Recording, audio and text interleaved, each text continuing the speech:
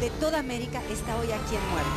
Excelente amigo, excelente actor. Conoce, y papá también, y esposo, ya lo agarraron desde cuando y no hay, bueno, está bien casado.